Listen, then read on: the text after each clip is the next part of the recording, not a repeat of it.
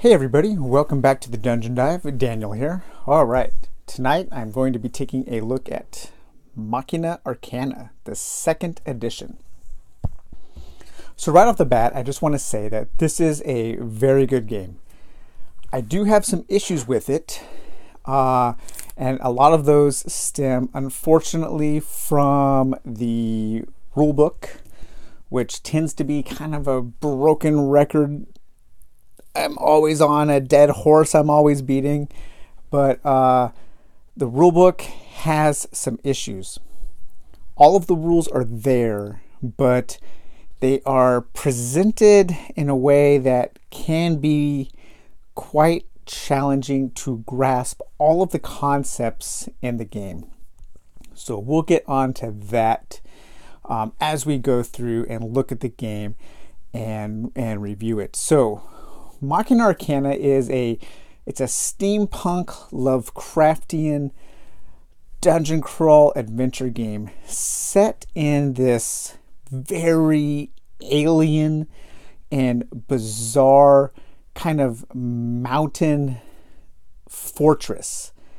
Uh, I think of it kind of like a like a steampunk at the mountains of madness or something like that and it deals with these explorers who are going in to this mountain base looking for evidence of this cult. Um, and this cult has been doing these just absolutely terrible things.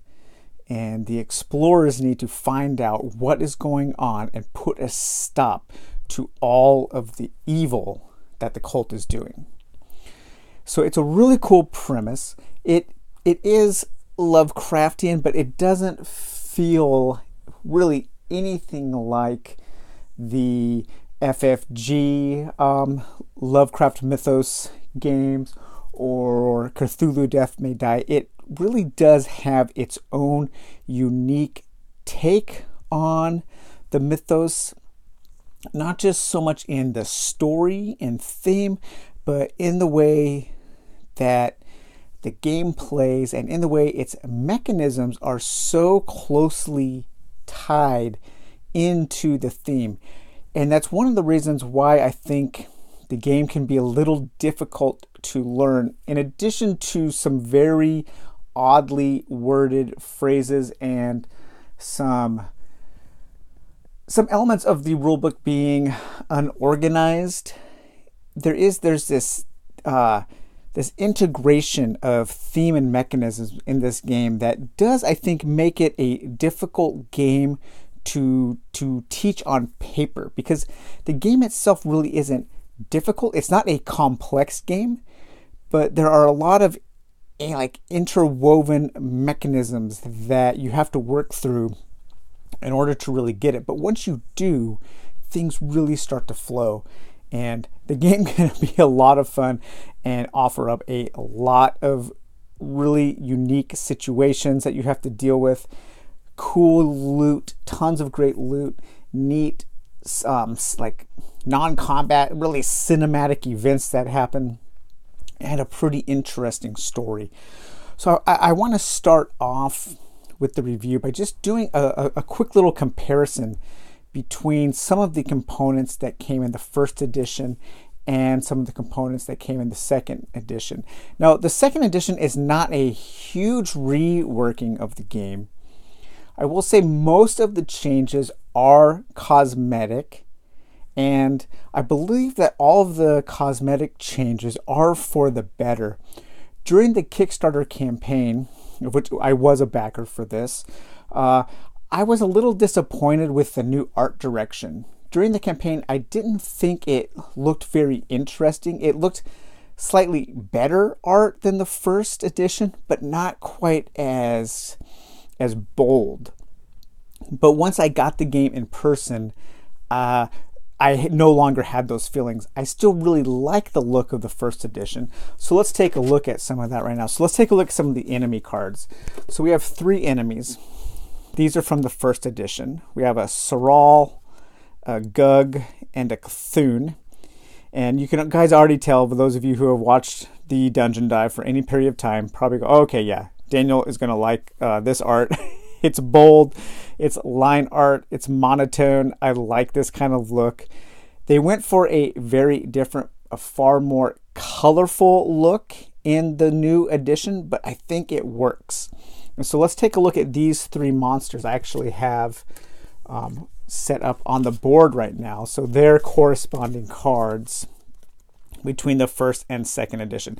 Now the cards are the monster cards are slightly bigger. Nope, they are the same exact size. So most of the components are exactly uh, the same size, and most of them do feature the same stats. So we have armor, we have will, that protects against physical damage, that protects against psychic damage, and then you have their health and how much stamina they use. Stamina is the kind of the overriding currency in this game that both monsters and the explorers used to uh, activate their abilities and take actions.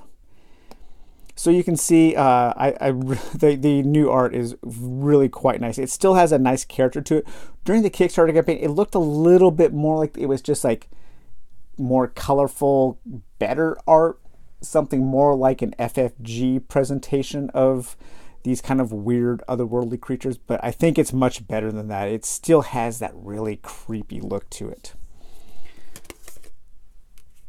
Okay, and then we have the Gug here. So here's the Gug comparison. Now he's quite a bit different looking.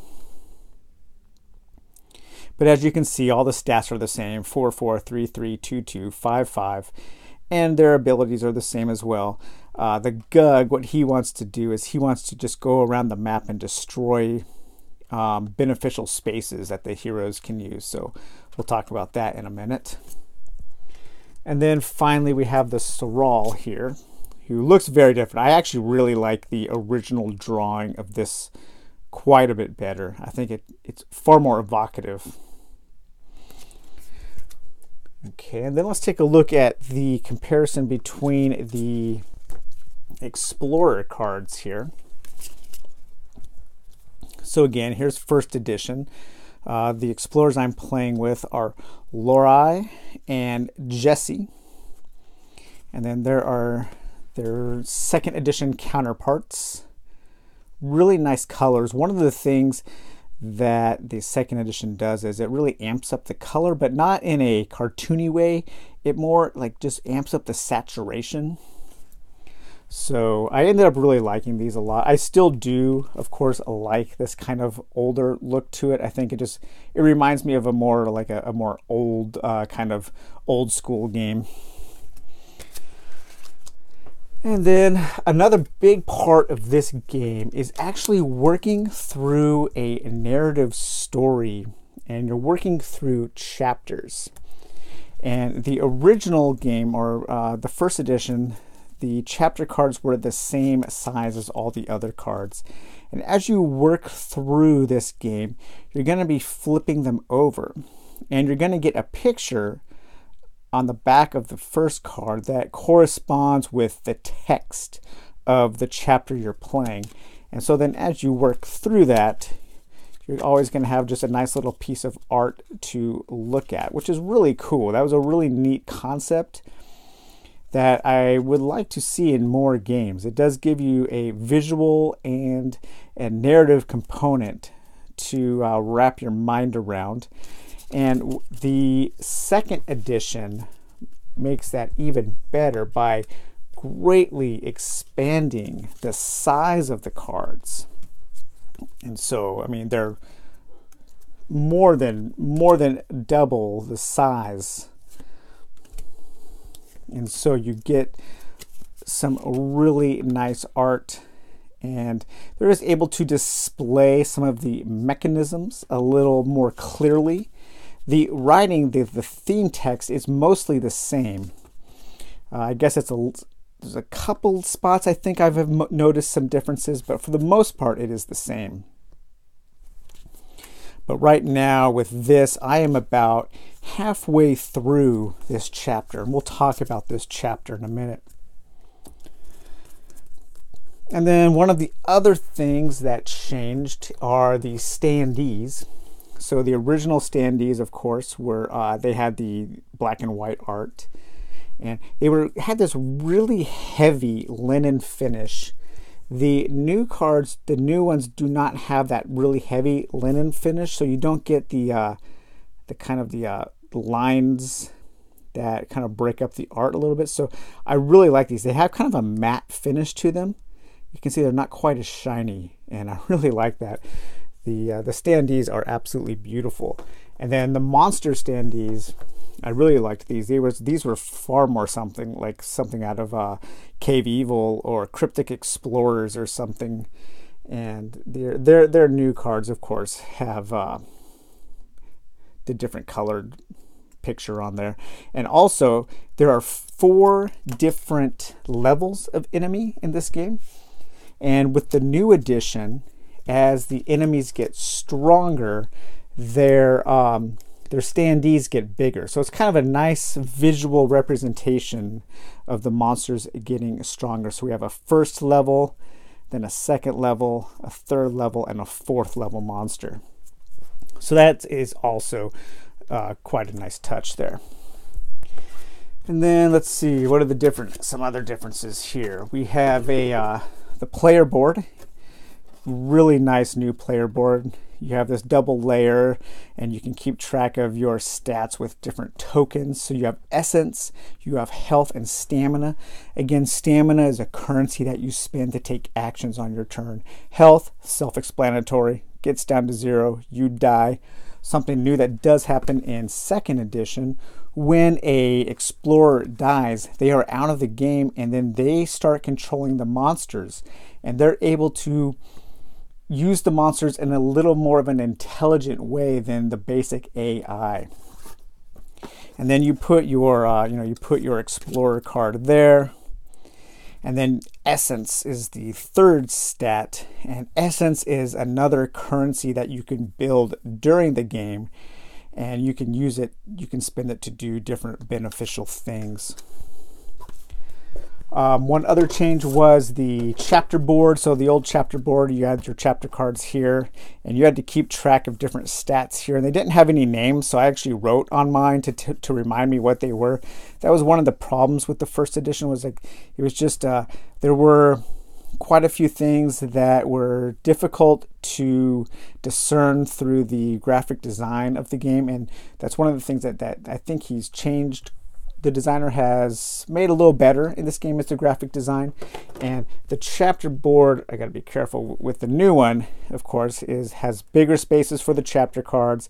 It too is double uh, layered so you can use these little tokens to keep track of your monster level your monster threat. As the threat goes up and it fills up the track then the level of the monsters you're facing goes up. And then you have a spawn track and a horror rating track. Uh, you roll against those. If you roll higher than the track level, you either spawn a monster or draw a horror card. If you don't roll higher, you um, you lower the value by one, so the next time you have a greater chance of spawning a monster or a um, horror event. And then finally, let's take a quick look at the tiles. So most of the tiles are the same.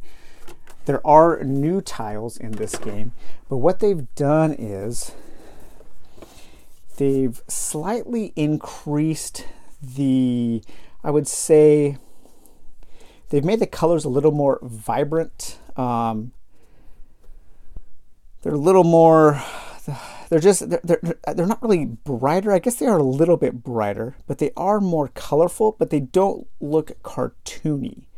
Um, this isn't kind of a this isn't like a difference between you know diablo 2 and diablo 3 they're just they're, the, the colors are more saturated in the new version and i think it goes a long way of really making things pop. And that is important because there is a lot going on on the tiles that you play the game on.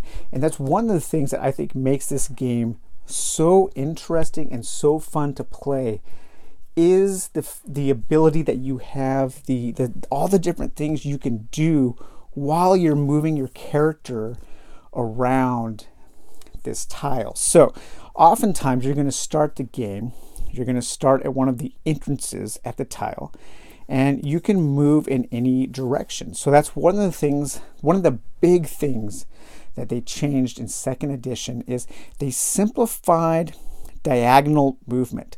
So you could always move diagonal if you had nothing blocking any of the corners or blocking both corners.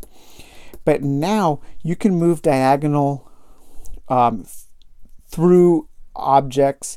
You can nothing can block you diagonal. So if you had if you were here and you had um, monsters here and here, in the first edition, you could not move diagonal through those monsters to this space, but now you can.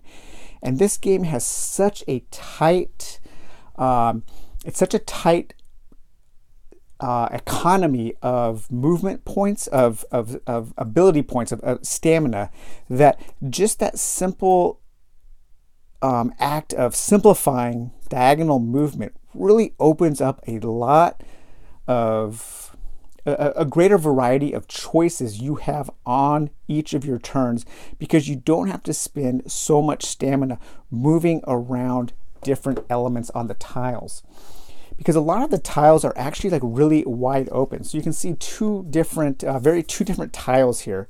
This one is all like, so these are walls here. And this is all like very complex, you know, very a complex, like a maze. You have doors here and you're moving around in these little tight corridors. Doors in this game always start open, and then you can spend stamina to close the door, and you could represent by these little tokens. And when the doors are closed, you can open them again, or monsters can try to destroy them. But then this tile here is just wide open. There's hardly any walls, only along the edges here. And this is one area here where the diagonal movement just opens up this tile in more in just in interesting ways because you can move here and then you can move diagonal through these obstacles and you used to not be able to do that so i really like the new diagonal movement i know that sounds silly but it's a really simple design change that i think makes the game a lot more fun and what it does most of all is it makes the game faster because this game can be a little slow. It can take quite a bit of time to move through an entire story. But by allowing you to do more things on your turn, it does make the game go faster. So on the board, each of these tiles is double sided, and there are quite a few of them. I think there's like eight or so, maybe 10. But each one is going to have a number of different elements that you can interact with we have these event spaces here. So these are good spaces. You can move your Explorer up to one of these spaces, and then you can trigger a Explorer event. So this is a whole deck of cards. There are like 30 generic cards that you play with on every scenario. And then each scenario has its own cards that you add to the deck. And you're going to add the ones that have the scenario icon there. But these are all beneficial things that you can spend stamina on to trigger. And they're going to give you different abilities that you can use. So this one will allow somebody to spend three stamina to increase armor by two. And every single one of these cards is a good thing that can happen. So you can choose to activate that space for something good to happen. Those are offset by what I mentioned earlier when we looked at the chapter board, the horror rating. If you roll to have a horror event, then these are negative cards, and these can impact, these will all impact you in very negative ways. And so they all have some really good writing. I think the writing in this game is excellent. It is, especially outside of the rulebook. That's why I'm I really wonder why some of the passages in the rule book are so poorly worded because the wording in the flavor text, which is written by the same, which I believe it's all written by the designer, is really, really good. So there's this weird discrepancy between the thematic written elements and the documentation of the game. Okay, but then next we have these trap levers. So this is a really cool thing in this game. These trap levers can be activated for a certain number of stamina. And then these spaces that look like grates any unit, be it an explorer or a monster that's on any of these grate tiles, gets attacked by three strong dice. And attacking works really easily. You have a um, you have an armor value. So let's say the monster had an armor value of three. Yeah, let's say like this Gug here has an armor value of four, and this Gug is on this trap space for two stamina. A hero who's standing there, there, or there could trigger this trap, thus attacking that Gug for three black dice. And if the pips add up to its armor or more, so in this case, it would hit and it does one damage. All attacks in this game are basically the same. You roll three dice, either in a combination, or not, you roll your dice. It's not, it's not always three, but you have strong dice and weak dice. You add up the pips. If the pips are equal to or greater than the armor class, then they take one point of damage. Very simple combat. The enemies don't have a ton of health, so you're not just sitting there wailing on them turn after turn. Most of the time, you're going to be able to take out an enemy in one or two turns. You just you really have to think the strategy and the tactical decision decisions in this game come in the in how you spend your stamina wisely. So another spot you have here is a workbench. A workbench allows you to draw items from the various item decks and then mix the or substitute items that you have equipped with those new items and also keep one new item and trade items with an adjacent explorer or give items to an adjacent explorer.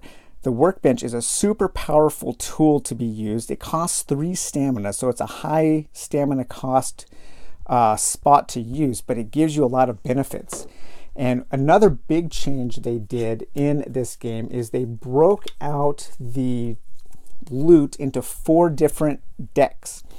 So you have apparel, you have like weapons and items, you have artifacts, and you have consumables. Anytime you are told to draw an item, you can pick which deck you want to choose from. So you can go more for weapons and augmentations to your weapons. You can go more for armor. You can go more for um, artifacts, which give you certain bonuses, or consumables, which are like grenades and health potions and that kind of thing. And there are three different levels of, of um, items one, two, and three. You can see this is a level two, this is a level three. And so this is a this is a, um, a level two weapon. It's a sacrificial Kharis and it costs two stamina to use. It's a melee weapon, and you attack with two white die. And then when adjacent monster dies, restore one health to any explorer on your map tile. So that's a really cool. That's a weapon that it's like a it drains the life energy. Okay, and then you have these boots here. Now, boots, different pieces of armor of apparel, they can add to your stats. they can add armor to your or to your willpower, and they can also be combined. So this is a torso armor, and as you can see, these symbols match. So you can add these boots to that torso armor. So now you have this as your armor set, and then there are also. Let's see if I can find a. Uh, let's see if I can find like a helmet. Yep. So this game kind of has like fashion souls capability where you can mix and match pieces of armor to make cool looking and, co- and armor with cool abilities. And so this would be a set of armor. And then torsos can be augmented by different um, elements. Let's see if I can find a torso augmentation item. Let's see here. Yeah, so like anything that has on this left hand side this symbol, that can also be added to a torso. So this would give you a grappling capability with these boots and then this helmet. So you've put together this really interesting piece of armor. And the workshop helps you do that because it helps you, you know, cycle through uh, some of the items to find items that you want. Additionally, you also have this treasure chest, and that you can open and you can take two items from any deck and choose one and to keep. You have these recharge stations where you can use those to gain a point of stamina or a point of health. These are spawn places These are where the enemies come out when they spawn. You can destroy those to prevent enemies from coming out onto the board. These are exploding barrels. Whenever they are shot, attacked, or if you push a monster or pull a monster or a, an explorer into them, they are like a trap space. They attack all adjacent units. And then finally, and probably most importantly, you have these chapter spaces. And these have to be interacted with, they have to be lit up like a beacon and then interacted with in order to progress to the next chapter of the scenario. And so if you did that on a turn, then you would progress to the next chapter. And there are some chapters are what they call blocking chapters, which I can find one right here. So if the chapter has this symbol, the way you progress through that is by doing something according to the rules on the chapter card itself. So they're kind of like little side quests built in to the story that you are progressing through. So if you if you can't tell, there is a there, there is just a, a ton to this game. Uh, it's really interesting and fascinating. And if you look over here, I'll kind of show you. I, I kind of ended my uh, game here at an interesting point to kind of show you how things can progress, how things can change, how dynamic the world can be. So I'm on this tile here. Now you can explore two other tiles leading out. I just had just started this new this new chapter uh, after taking a rest. So I came on to this one new area of the cultists mountain fortress. And so as I explore, I could add a tile up here or a tile to the side, and you can have a four by, a two by two area to work through and then you can continue to explore and anything that's left anything that gets greater than 2 by 2 gets pulled off. So it's kind of like a scrolling element in like a video game or something. However okay so here we have jesse. He's over here. We have Lori over here. Now what i did is i moved Lori up to here next to this trap lever and i moved jesse here and i used him as bait to draw these enemies out because all of these spaces in this corridor are trap spaces. So I wanted Lori on her turn to trigger this lever and then attack everything in this hallway basically for three. Yes, even Jesse, but Jesse has enough armor that he could probably withstand the attack. So that's what I did. I set up that turn, and then the monsters move. So they, the, all the monsters are moving towards Jesse. This monster here, the Cthulhu, it stays, it's immobile. It's like a healing thing. So it will heal monsters on its turn. The Gug, all it wants to do is it, it wants to go through the map and it wants to destroy those beneficial spaces. And so it's like over here in this room, just like like a crazy uh, toddler Hulk going on a rampage, just destroying things. And when something gets destroyed, you put one of these uh, markers on it so that can no longer be used. But anyway, so I was going to set up this trap for these enemies, but then I failed my horror rating, so I had I had to draw this card here, revitalizing poison. Watch in the dark as they rest. Their vigor returns like a bird to nest. Their vigor restored, their guard is down. Pounce on them now, wear their flesh as a gown. You take a drink and then you die. You feel all right, but 'tis a lie. And this card is terrible for my plan because this card is going to trigger three times. Whenever an explorer restores essence, all explorers on the map tile are attacked for three, an arcane attack. It's like a psychic attack. Well, you gain anytime you destroy a monster, you gain essence. And so I wanted her to be to take out these two uh, enemies with that trap. But if I do that, both of these are going to die. And then all of the explorers, both Jesse and Lori, are going to be attacked by three black dice uh, a very strong psychic attack. So it's like, oh my! I had this great plan, but then the machinations in this terrible, terrible place in this Machina Arcana. They are working against you always. So things can go south in this game really quickly. You're you're constantly having to to you can plan and you can often execute those plans but but you also are constantly having to think on the fly and change up your tactics to uh, you know to correspond with what the game is throwing at you. Just, it, it's a very very fun game. I wish wish however that the rule book was just better written. Like i said all of the rules are here okay? Nothing is left out but it is made difficult by a number of reasons. One being that this game uses some different terminology for things that are common to other games in this genre.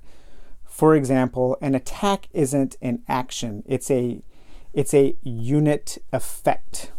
Um, things aren't just called actions.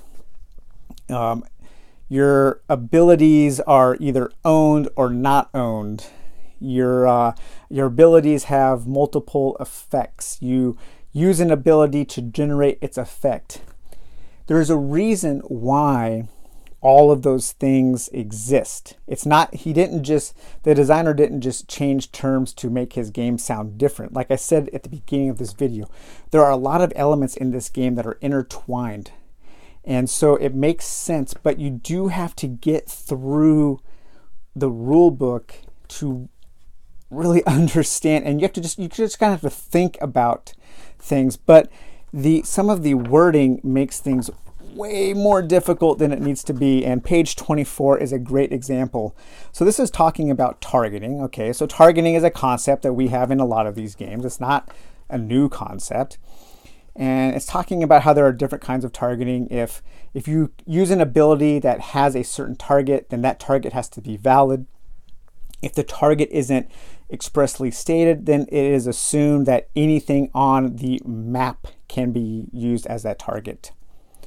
But so this like this uh, ability, this paragraph here, map tile scope. An ability can have either the owner or the activating unit. If those abilities don't require a target, their default scope is the current map tile. That first, an ability, so an ability is something on a card that, uh, so this is an ability that costs three stamina. You, it's a melee attack. That's the ability. And then this is the effect of that ability. You would attack for two black dice and one white.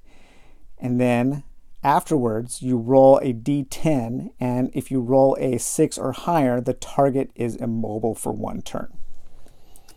Okay, so this is saying though that an ability can have either the owner or the activating unit.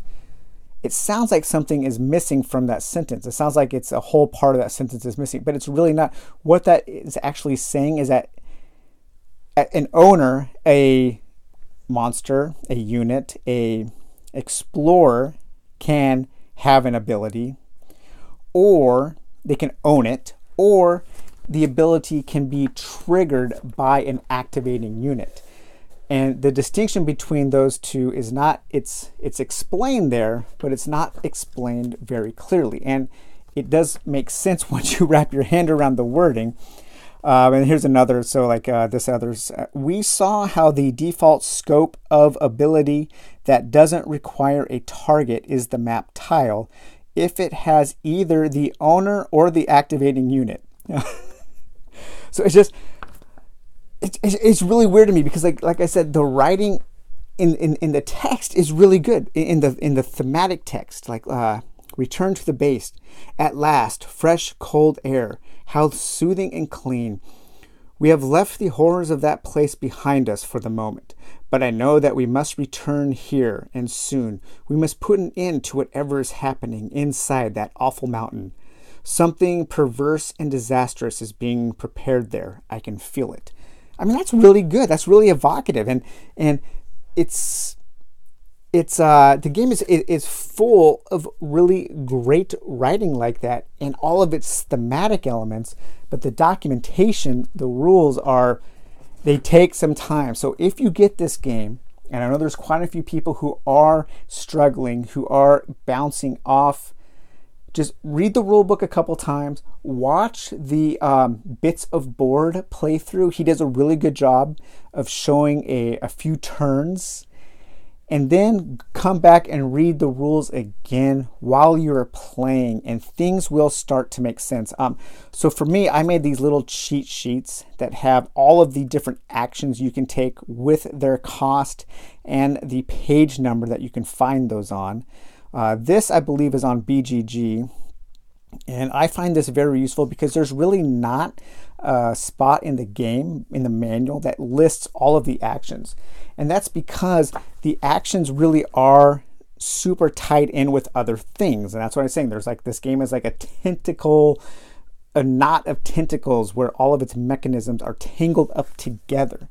And so that is, you know, just something you have to think about. And then the designer did finally make this two-page um, player aid that is also very useful to grasp the game. But I really like this game. I think this game is fantastic. I'm having a blast playing it. I'm playing through the first chapter. There are, in the Kickstarter version, there is, uh, so there's one, two, three, four. There are five chapters.